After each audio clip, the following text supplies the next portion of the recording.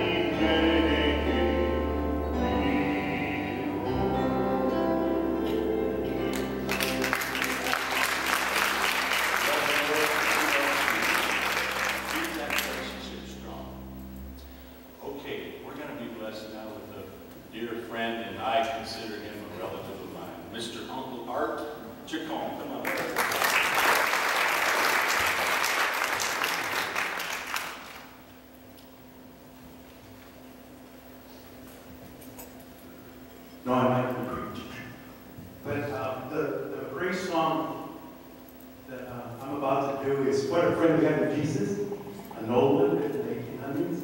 But uh, this scripture was heavy on my heart, so I want to just read it real quick. In John uh, 15, uh, verse, or verse 15, it says, Greater love has no man than this, that a man lay down his life for his friends. You are my friends if you do whatever I command. Henceforth, henceforth, I call you not servants, for the servant knoweth not what his Lord does, but I have called you friends.